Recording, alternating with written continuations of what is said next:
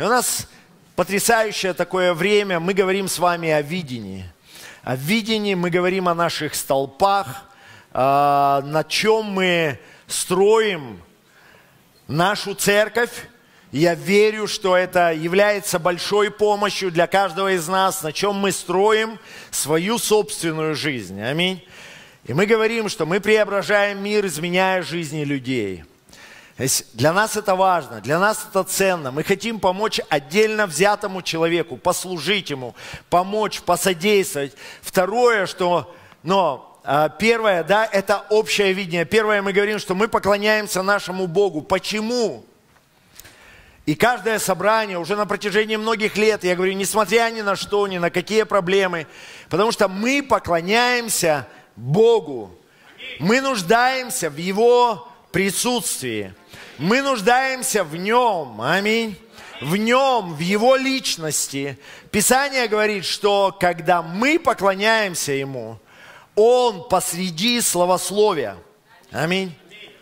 То есть Люди могут навыдумывать все, что угодно. Кто-то может сказать, там, знаете, как э, на Руси есть такая поговорка, Бог не яшка, видит, кому тяжко там или еще что-то. Нет, дорогие, Бог там, где его чтут. Всякий, кто призовет имя Господня, спасется. Кто призывает имя Божье, Бог посреди этого, кто славит Его. Поэтому мы поклоняемся Ему посреди всех обстоятельств. Независимо от ситуации, потому что мы нуждаемся в Нем, и в Нем есть выход из любой ситуации. Помните? Аминь. Второе, что мы говорим, мы любим людей. Даже прежде изменения чьей-то жизни. Мы любим человека. Аминь и верим, что человек способен быть измененным. Потому что Иисус пришел, и Он отразил любовь Отца. Ибо так возлюбил Бог этот мир, что отдал Сына Своего Единородного. Он отразил. И Он хочет, чтобы Его природа была в нас. Аминь. Чтобы мы любили. Мы говорим, что мы проповедуем истину, независимо от ситуации, в чем бы мы ни находились. Вы заметили, что от сезона, от воз, э, нашего возрастного рубежа, наши желания, какие-то цели жизненные, они меняются. Заметили? Да. Есть что ли? Или вы подвох какой-то ожидаете? Ну, правда, дорогие мои. Мы видим, что до определенного периода вот есть одни цели, после другого другие. И правда, вы можете посмотреть там, а, э, есть, есть разные, там есть там пирамида а, Маслова там, да, или Маслоу, там одни вот так считают, вот так, то есть вот до одного сезона там человек там а, решает вопросы и боится, э, что, как ему завтрашний день пережить, как покушать, во что одеться, там, во что это. То есть кто-то из э, исследователей вообще жизнь делит на две части. То есть первое – это боязнь и страх, что поесть и во что одеться. Второй сезон – страх перед смертью. И у каждого этот сезон наступает по-разному. Но я благодарен Богу, что истина остается на том же самом месте, независимо от нашего возраста, независимо от сезонов, от обстоятельств, которые мы с вами проходим. И в истине, в Боге есть ответ для нас, для каждого сезона. Аминь. Аминь. Сегодня, да, если уж давать славу Господу, то давать как-то как это, да. Слава Иисусу. Сегодня мы с вами поговорим, что мы движемся верой. Для нас очень важно помнить об этом, понимать, и даже то, что мы сейчас делаем, нам реально необходима вера, даже вот сейчас, когда мы собираемся провести мероприятие э, в Маяковском, нам нужна вера на самом деле, потому что человек, он привыкает костенеть, он привыкает ко всему, правда, привыкает. И нам нужна вера. То есть сегодня я уже слышу, как некоторые люди говорят, о, это же переподключить микрофоны, это же там все организовать. Это... Дорогие, хочу напомнить, 70-80% церквей в нашей стране каждые выходные подключают микрофоны и вытаскивают аппаратуру. Каждые выходные. Мы вообще с вами в благодати. Но Да поможет нам Господь не закостенеть и не засухареть в этом, но продолжать двигаться – двигаться в вере. Мы говорим, что мы не останавливаемся на достигнутом, мы постоянно растем и развиваемся, умножая то, что Бог доверил нам. Аминь. Постоянно. Мы служим людям в церкви. И для этого, для всего нужна вера. Нужна, нужно не, необходимо движение веры и за ее пределами. Нам необходим рост, нам необходимо развитие в Боге, чтобы мы не останавливались. Потому что в противном случае все, ну тогда уже, как говорится, никто никуда не идет. Нам нужно, чтобы мы не ограничивали себя рамками того, что мы имеем. Нам необходимо постоянно движение веры. Я помню, когда я ну, был маленьким, я, у меня один сезон был такой, я увлекся рыбками. И у меня был дома аквариум, родители были против, соответственно, этого содействия. И я помню, у меня там был аквариум, рыбки в этом аквариуме. Я ходил к одному мужчине, приходил к нему ну, с, с, за рыбками, там, советоваться, как кормить, что делать в аквариуме. Что... У него было три аквариума по 500 литров. Просто представляете, три, то есть это другой размер, чем мой. И я однажды вдруг удивился, что у него прям вот такие Дани Арелия, кто-то знает таких рыбок, слышал? У меня вот такие, как гупешки, а у него вот такие. Я говорю, а как это так? Он говорит, потому что аквариум ограничивает рост рыбок. Я не хочу, чтобы мы с вами были ограничены своим собственным аквариумом. Но чтобы мы позволяли Богу использовать нас, взращивать нас. Нам необходима вера. Я хочу сегодня, да поможет Господь э, мне в рамках служения просто выразить все, что, э, то, о чем я хотел бы с вами поделиться, потому что на самом деле вера – это то, о чем бы я готов был бы и мог бы говорить постоянно, делиться всегда этим. Поэтому пусть Дух Святой поможет нам и говорит сегодня в нашу жизнь, в наши сердца. Евангелие от Матфея, 17 глава, 20 стих. Иисус же сказал им, по неверию вашему, ибо истинно говорю вам, если вы будете иметь веру с горчичное зерно, и скажете горе сей, поднимись отсюда, и она перейдет.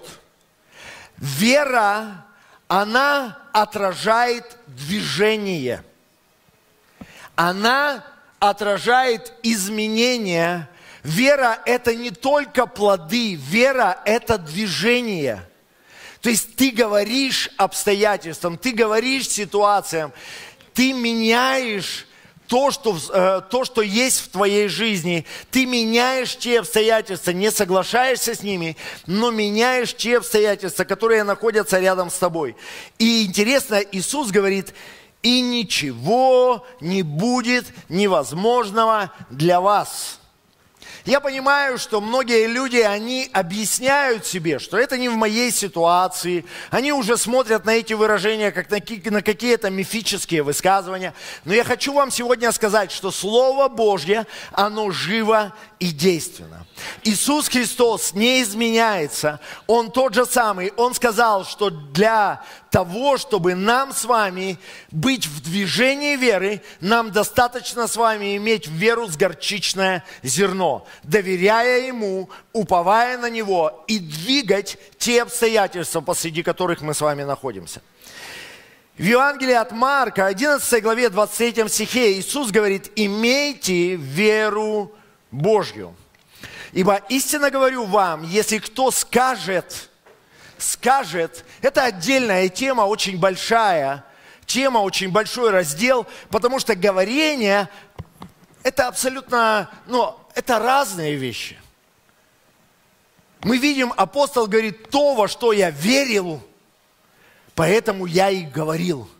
Понимаете, слова, сказанные с верой, они преображают обстоятельства.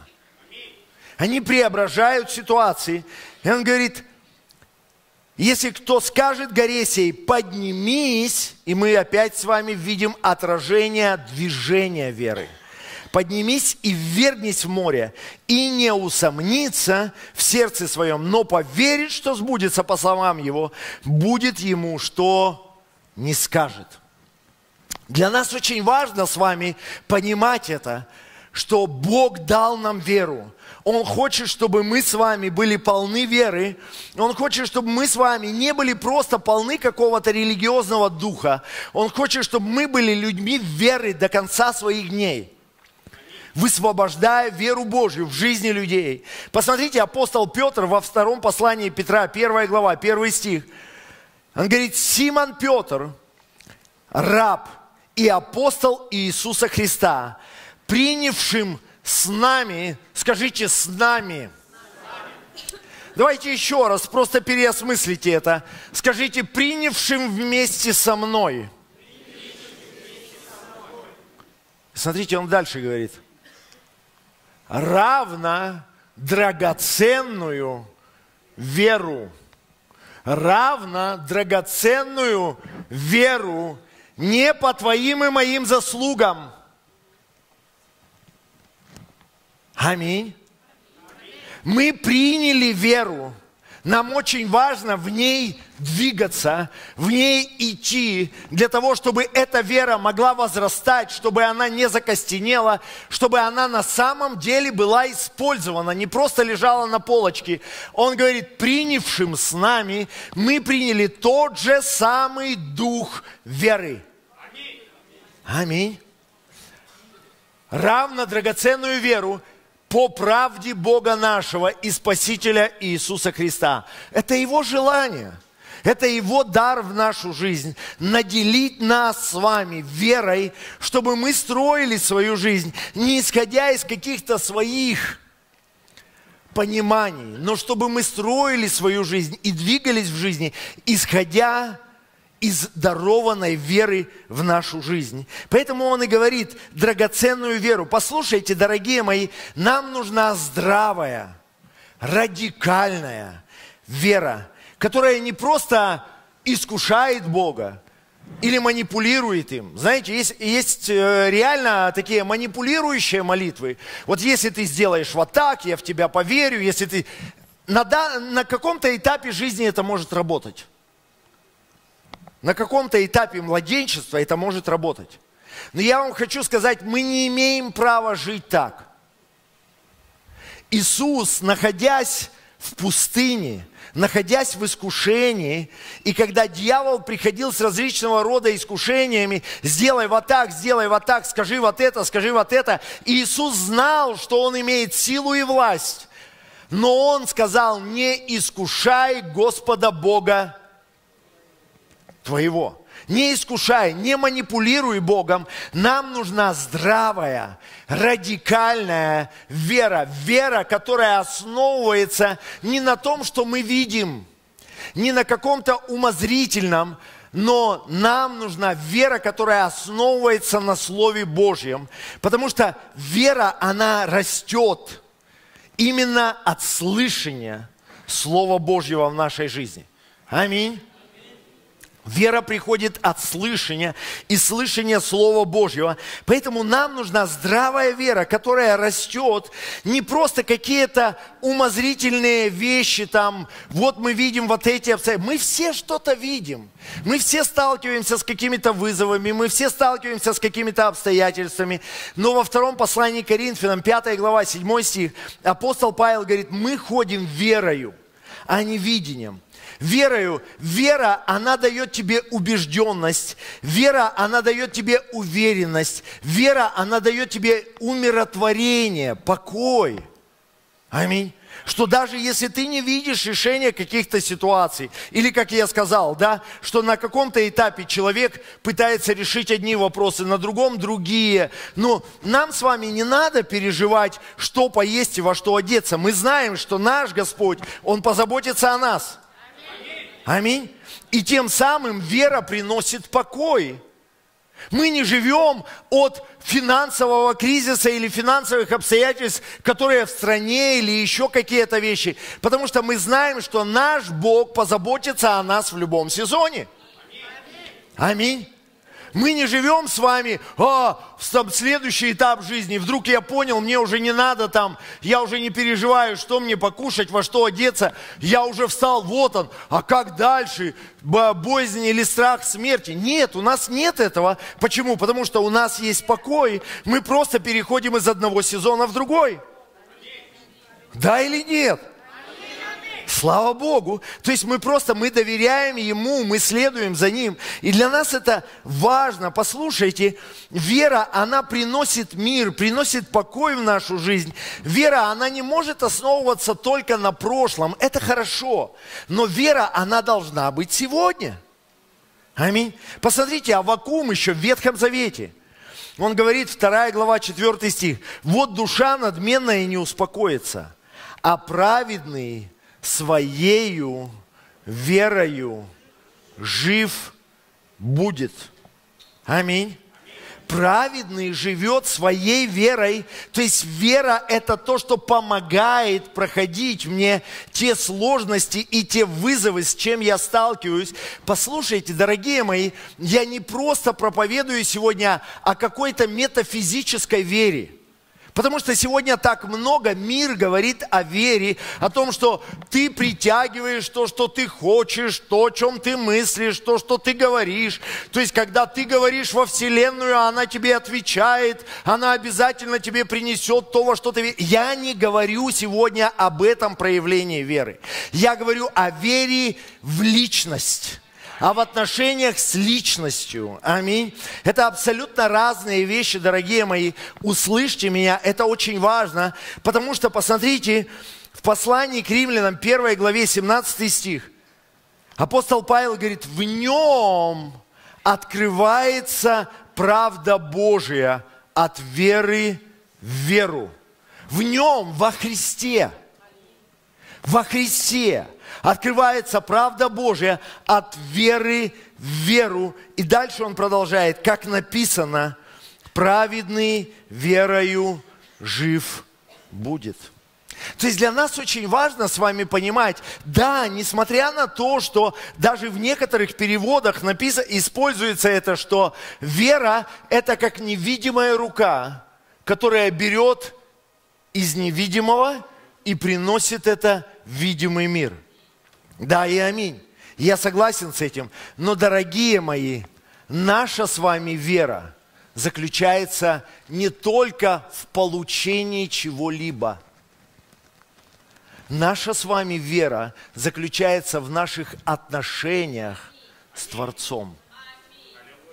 В наших отношениях со Христом.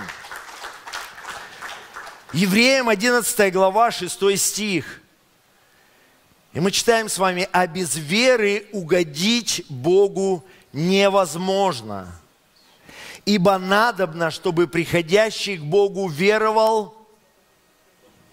Давайте еще раз. Веровал, что Он есть.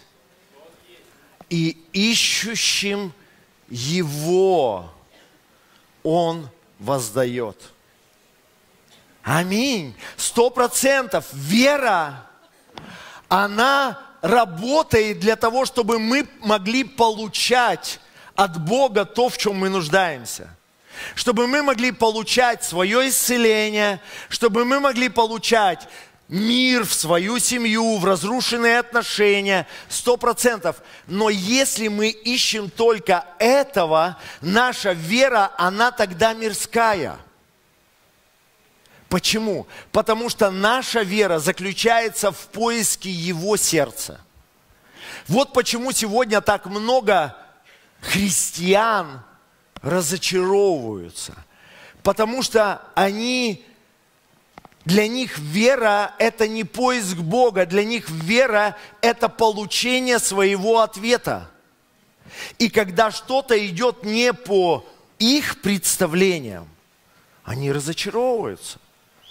Они могут уходить из церкви, они могут оставлять общение. Более того, они могут оставлять отношения со Христом. Почему? Потому что их вера – это просто получить то, в чем они нуждаются. Но Писание говорит, без веры угодить Богу невозможно. Без какой веры? Ибо надобно, чтобы приходящий к Богу веровал, что Он есть, и ищущим Его Он воздает. То есть чудеса и плоды веры, они всегда будут очевидными в твоей жизни, когда ты продолжаешь искать Его. Как-то тихо, да?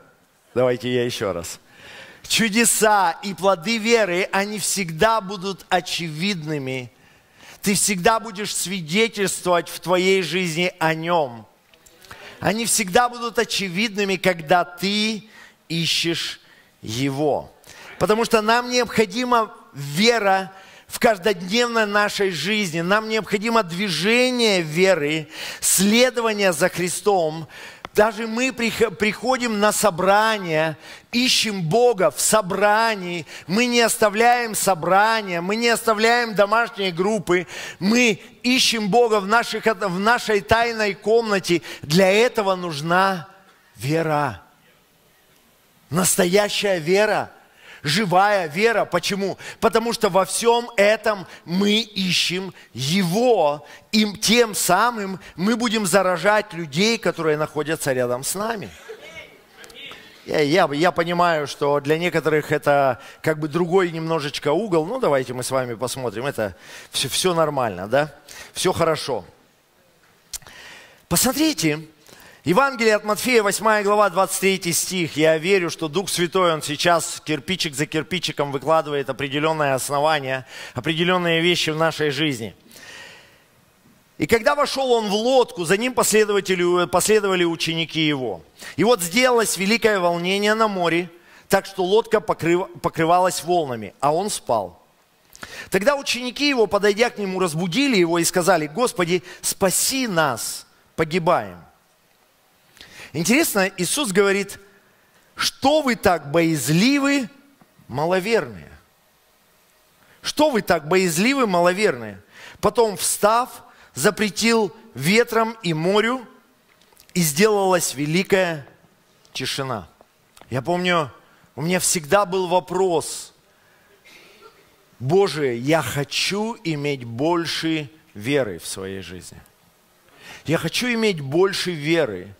И когда я увидел эту истину, что оказывается на самом деле веры в твоей жизни, ее достаточно с горчичное зерно.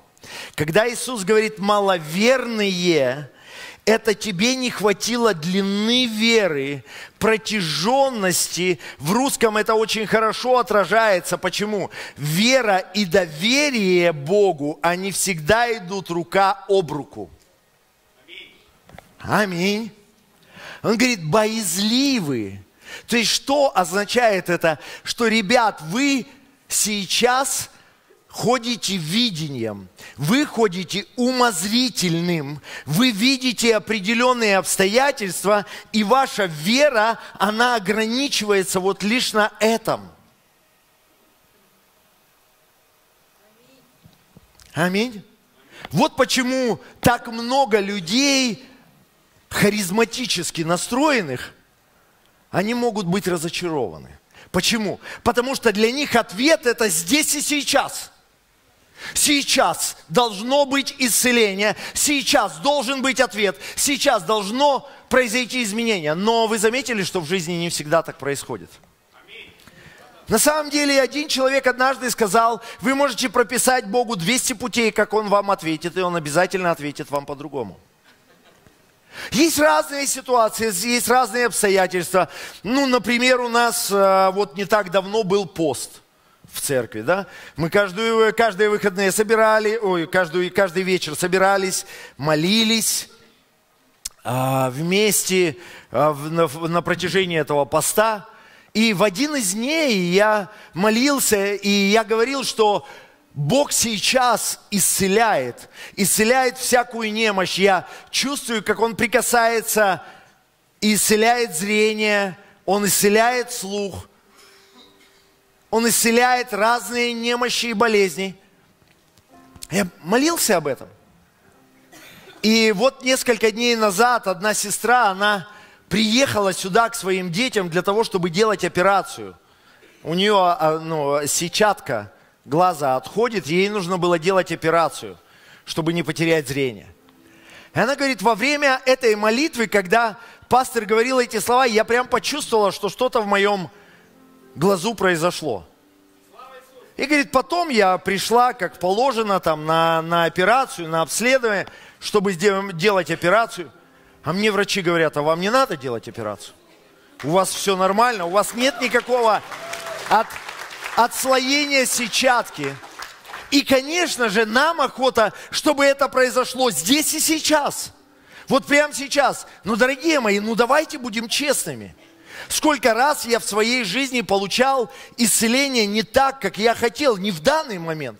Сколько раз исцеления происходили даже тогда, когда я их не ожидал. В процессе. Аминь. То есть я просто продолжал доверять Ему, продолжал верить. Какие-то обстоятельства, какие-то ситуации менялись тогда, когда я вообще этого не ожидал, я просто верил, доверял Ему, что Бог произведет эту славу, Бог сделает это. У меня до сегодняшнего дня есть вещи, за которые я продолжаю верить. Маловерные – это длина веры. Очень часто нам не хватает длины веры, этой протяженности, просто доверия. И причина этому является то, что мы ищем не Его, а мы ищем ответа – мы ищем решение своего вопроса. Но послушайте, у Бога есть гораздо больше, чем решение твоего вопроса. У Бога есть все абсолютно для твоей жизни. Все, в чем ты нуждаешься. Аминь. Поэтому для нас это очень важная часть важная составляющая нашей с вами жизни. Посмотрите, прочитайте. Давайте вместе посмотрим Евангелие от Матфея, 14 глава, с 26 стиха. Хочу сразу же пометить, что это происходит именно после грандиозного чуда. То есть ученики находятся посреди одного из величайших умножений. Иисус пятью хлебами и двумя рыбками кормит пять тысяч мужчин. Представляете, не считая детей и женщин. Это происходит именно после этого. И ученики уплывают на лодке, увидев его, идущего по морю, встревожились и говорили, это призрак. И от страха вскричали. Но Иисус тотчас заговорил с ними и сказал, ободритесь, это я, не бойтесь. Петр сказал ему ответ, Господи, если это Ты, повели мне прийти к Тебе по воде. Он же сказал, иди. И выйдя из лодки, Петр пошел по воде, чтобы подойти к Иисусу. Но видя, скажите вместе со мной, видя, мы все что-то видим. Мы все что-то видим. Что-то видим. Но видя сильный ветер, испугался. Вот за умозрительными вещами всегда следуют последствия. Всегда. Испугался и начал утопать. Закричал, Господи, спаси меня! Иисус тотчас простер руку, поддержал и говорит ему, маловерный. Опять, тебе не хватило длины. Ты твой, твое зрение уперлось в эти обстоятельства. Уперлось, ты, ты ограничил свой взгляд вот этими обстоятельствами. Кто-то из вас, вы слышали, э, что ну, врачи, исследователи зрения человека, они говорят, что основная причина, почему у людей падает зрение, из-за того, что их взгляд всегда ограничен чем-то. То есть у нас нет с вами возможности, так много возможностей смотреть вдаль. Слышали это? И человеку рекомендуют, чтобы он мог смотреть вдаль, смотреть куда-то где его взгляд не упирается во что-то. Потому что мы с вами посмотрели стеночка, в окно выглянули, следующий дом. То есть мы постоянно что-то смотрим. И интересно, я вдруг увидел, что это же как параллели, то же самое для нас с вами, что когда мы смотрим и упираемся только в какие-то обстоятельства, нам надо через обстоятельства продолжать смотреть на начальника и совершителя нашей веры. Потому что не решение сейчас является ответом и все для меня. Для меня является ответом сам Спаситель Христос. Аминь. Поэтому он говорит, ну, он увидел, мы всегда что-то видим. И иногда у нас возникает вопрос, ну а как я могу, как, как в моей жизни это произойдет? Как? Как, как я вылезу из долгов? Все, у меня так, такие долги. Как, как я могу? Как, как я могу получить свое исцеление? Как я могу? Послушайте, это всегда были эти вопросы. Мария задавала вопрос, она говорила, как я могу иметь сына, когда я мужа не знаю? У нас всегда есть эти вопросы. Тебе не за это надо переживать. Сила Всевышнего сойдет на тебя. Аминь. Как, Боже, как ты меня э, побуждаешь начать бизнес, начать заниматься предпринимательством? Я не бизнесмен, у меня в родове никогда не было бизнесменов. Как это произойдет? Когда ты доверяешь Ему. Аминь. Когда ты уповаешь, Он будет снаряжать тебя он будет отвечать тебе. Как? Может быть, в твоей семье уже давным-давно даже твои близкие поставили крест, что никакого шанса нет на вашу семью, на ваши отношения, на ваши изменения. Как это может произойти? Как может прийти мир? Как могут восстановиться отношения? когда мы продолжаем доверять Ему, когда мы продолжаем двигаться в вере, движение веры, долгосрочная вера. Нам нужна вера, которая кричит, которая заявляет о себе не только плоды веры. Я хочу ободрить вас, дорогие мои, люди, чтущие Бога, люди, движущиеся в вере, они всегда будут иметь чудеса всегда будут иметь свидетельство своей жизни. Да потому что Он Бог чудес, невозможно по-другому. Он Бог чудес, невозможно по-другому. Ты всегда будешь свидетельствовать о чудесах. Конечно же, если ты хочешь объяснить себе, что для тебя это невозможно, ну, как говорится, можно и объяснить себе, но я бы хотел вдохновить вас, чтобы мы были людьми, которые строят свою жизнь на отношениях с Богом, доверяя Ему. Аминь. Доверяя Ему. Посмотрите, Даниила, третья глава. Я хочу прочитать вам одну историю. Правда, ну, мы, мы все очень часто читаем Библию, читаем Писание, и мы даже не задумываемся, в каких обстоятельствах были люди, через что им приходилось проходить. Знаете, один день, когда я просто осознал, вот мы читаем с вами Даниил, Сидрах, Месах, Авдинага. Мы читаем с вами об этих победах в их жизни, об этом героизме. Но мы с вами даже не понимаем, через что им нужно было пройти. Представьте, они были, их вообще, вся нация была захвачена. Они были лишены родителей. Что дети проходили? Что они видели? Мы же с вами порой даже не думаем об этом. То есть они были забраты рабами в царский дом.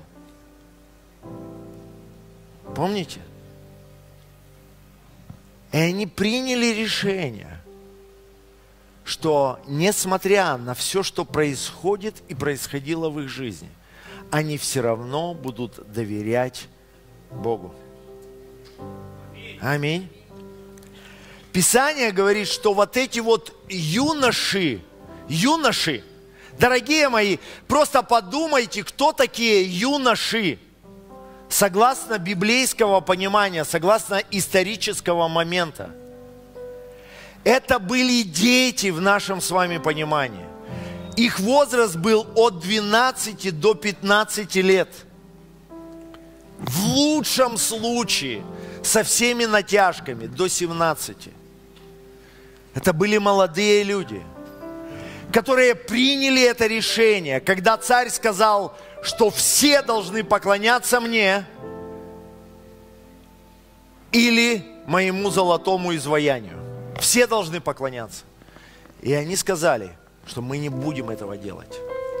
И был издан указ, закон, что все, кто не будут поклоняться, они будут сожжены в печи, в огненной печи. И вот послушайте, дорогие мои, поразмышляйте об этом.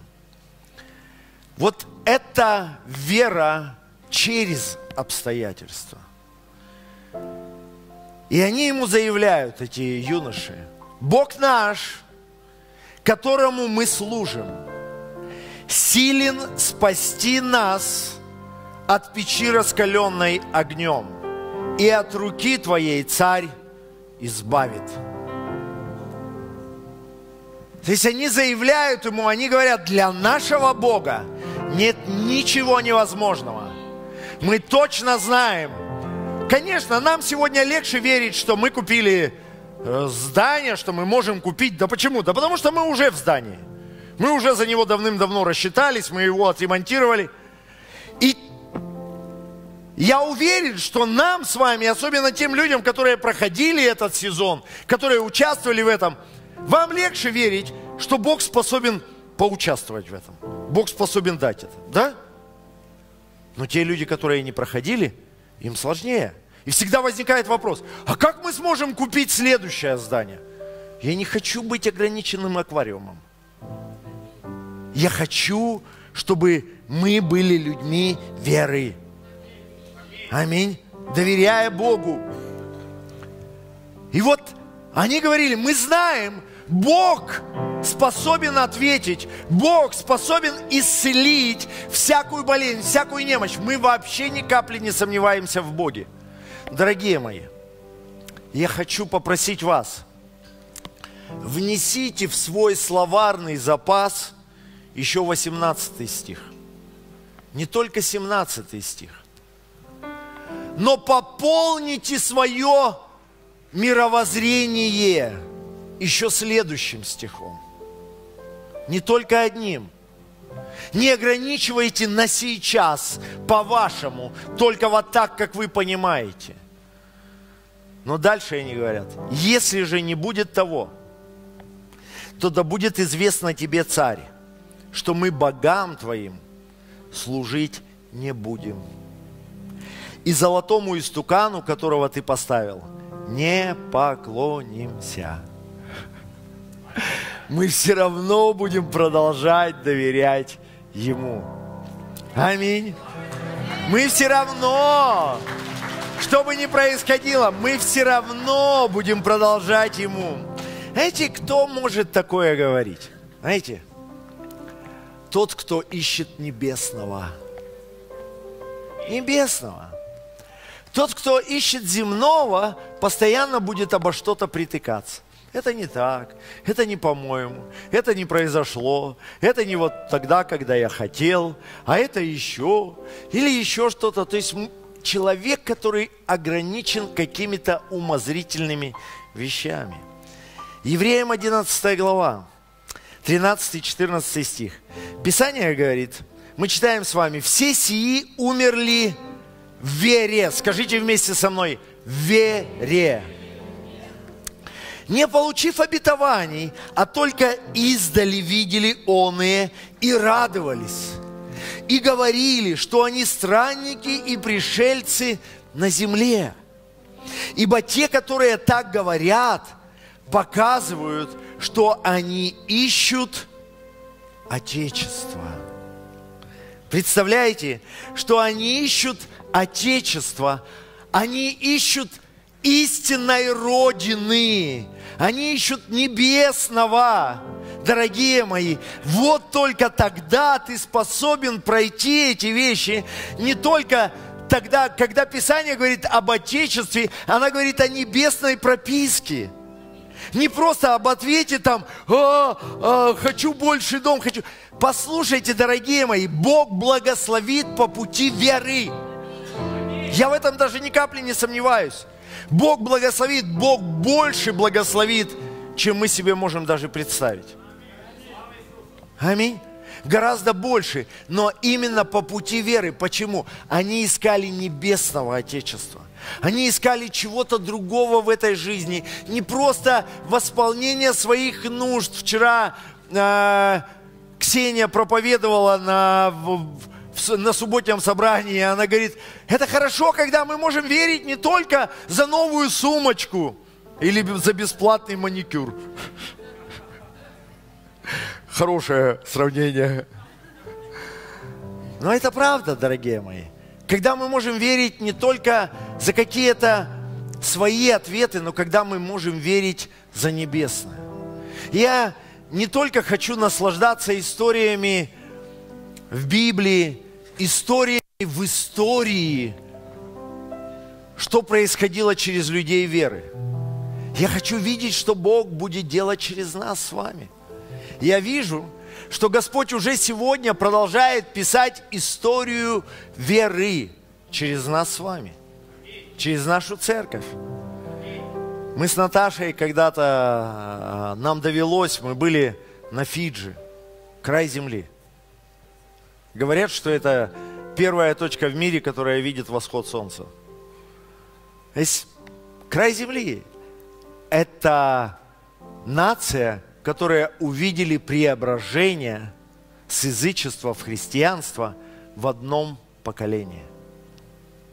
В одном поколении. Знаете как? Несколько молодых людей заключили завет между собой, что они не женятся, пока они не занесут Евангелие в каждый дом. Да, вот так. Очень радикальная вера. Очень радикальный поступок. И я помню, мы ехали в машине с одним братом и разговаривали. Мы говорим, сколько тебе было лет, когда вы заключали этот завет? Он говорит, мне 18. Вау. Ну а ты думал, во сколько примерно женишься? Ну, думал, года в 32-33. А во сколько женился? В 42. А сколько было твоей жене? 38. Она присоединилась к этому завету позже, пришла в церковь. Она позже присоединилась к этому завету. Вау. А сколько вам сейчас? Ему было тогда 50. У них было уже шестеро детей. А. И мы приехали к нему в город. Это городом не назовешь, потому что это как будто бы маленький поселочек, там меньше 20 тысяч проживающих. И он был пастором церкви больше трех тысяч человек. И это не одна церковь в этом городе. Как-то жидко вы хлопаете, жидко, простите меня, то есть, да, мне кажется, то есть, я понимаю, что нас вдохновляют чьи-то примеры, но я уверен, что Бог хочет через нас с вами творить историю. Через нас.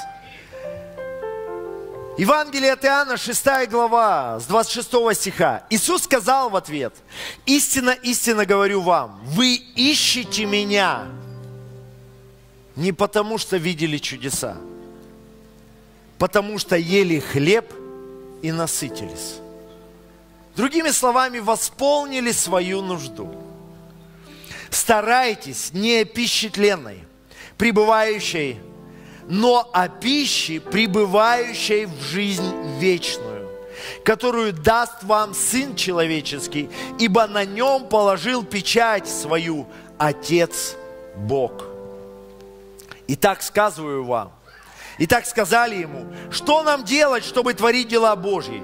Иисус сказал им в ответ, вот дело Божье, чтобы вы веровали в того, кого Он послал. Чтобы вы веровали в того, кого Он послал. И это и есть движение веры. И на этом пути, на этом движении, я уверяю вас, мы будем получать свои чудеса. Мы будем получать свои ответы. Потому что мы спасаемся верой, мы живем верой. Мы призваны дышать верой. Вера – это не еще одно из возможных ответов в нашей жизни. Вера – это единственное, что должно у нас быть. Аминь. Праведный верою жив будет. Иисус сказал ему в ответ, вот дело Божье, чтобы вы веровали в того, кого Он послал. Дорогие мои, потому что когда мы с вами верим, я уверяю вас еще раз, мы всегда будем принимать свои ответы и свои чудеса по пути. Всегда. Но это будет благословением не только для нас. Это будет благословением для тех людей, которые находятся рядом с нами. Посмотрите, я уже буду приземляться, время у нас убегает. Евангелие от Луки, 13 глава, 18 стих. Иисус говорит, чему уподоблю Царствие Божье? Да, чему подобно Царствие Божье? И чему уподоблю его? И он опять говорит о горчичном зерне, о горчичном семени. Оно подобно зерну горчичному, которое, взяв человек, посадил в саду своем. И выросло, и стало большим деревом, и птицы небесные укрываются в ветвях его. То есть вера должна быть настолько укорененная внутри нас, что она становится деревом, которое способно поддерживать нас в тех вызовах и обстоятельствах, которые мы проходим. Но интересно – что эта вера внутри нас, она, она способна будет даже людям, проходящим мимо нашей жизни. Даже птицам небесным. Она будет помогать им, она будет заражать их. Настоящая вера. Она всегда будет благословением, она всегда будет передаваться. Она всегда будет кого-то заражать. Переживали вы когда-то такие моменты, когда у тебя у самого нет ответа еще, но ты молишься за кого-то, и он принимает свой ответ. Бывало у вас? Это и есть Царство Божье. Я укоренился в этом еще в начале моего христианского пути. Я помню, а, буквально в начале моего хождения с Богом, я ехал с церкви на автобусе, уже было часов 10 вечера, и у меня раскалывалась голова. Иногда, знаете, вот бывает так, что она настолько пульсирует у тебя, что у тебя аж в висках отдает. Я думаю, могли переживать это. Да, и у меня так было поздно уже, в автобусе было не так много людей. И я начал разговаривать с одной женщиной, а, рассказывать ей о Христе, Евангелии. Я помню, как она мне сказала интересную вещь. Она говорит, я вот хочу вас слушать, но у меня такая головная боль, что я аж вот, ну, я аж не воспринимаю то, что вы говорите. Конечно, я ей мог сказать, слушайте, надо же, у меня тоже так голова болит. Я помню, сказал ей, а давайте я за вас помолюсь. Она говорит, давайте. я помолился прямо за нее в автобусе. И она сидит такая удивленная, смотрит на меня. Говорит, надо же, отпустила.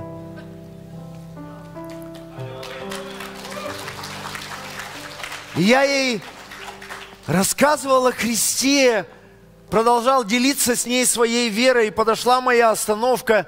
Она ехала до Черемушек, там мне надо было выходить в май на посередине этого. И я, помню, вышел – и вдруг осознал, а меня-то тоже отпустило.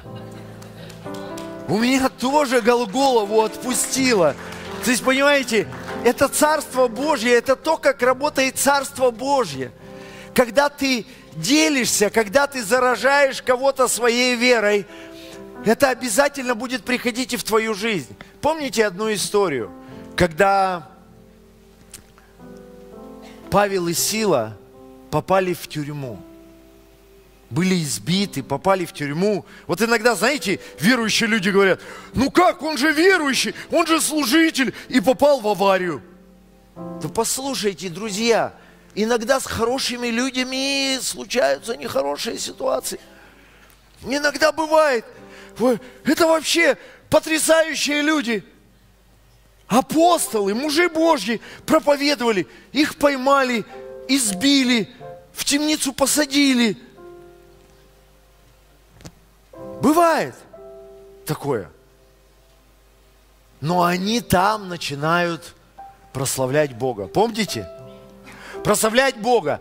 И темницы, стены, они начали шататься, двери открылись. Начальник темницы испугался, хотел убить себя. Деяние 16 глава 28 стих. Но Павел возгласил громким голосом, говоря, не делай себе никакого зла, ибо все мы здесь. Он потребовал огня, бежал в темницу и в, трепе, в трепете припал к Павлу и Силе. И, выведя их вон, сказал, государи мои, что мне делать, чтобы спастись?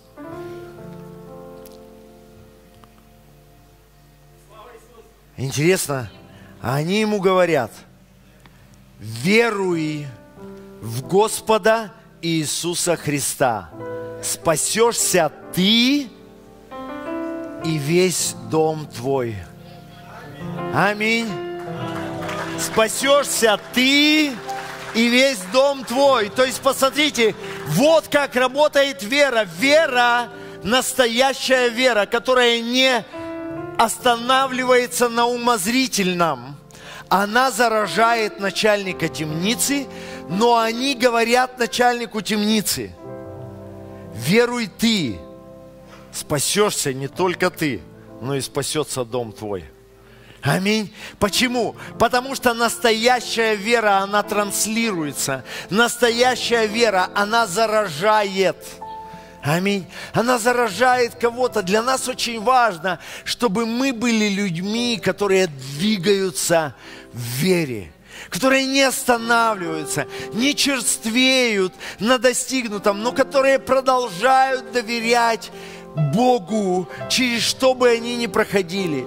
Я помню, однажды был в одном обществе, и там были пасторы, хорошие, уважаемые люди.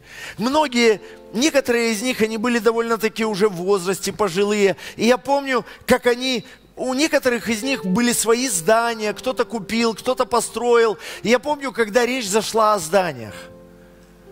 Я помню, как один за другим они начали говорить, чтобы я хотя бы еще раз проходил этот путь. Никогда. Покупки и приобретения здания. Я с большим уважением отношусь к этим людям. Но я стоял тогда в этом обществе. И внутри себя говорил, Господи, пусть только на меня это не сойдет. Я хочу всегда продолжать верить Тебе.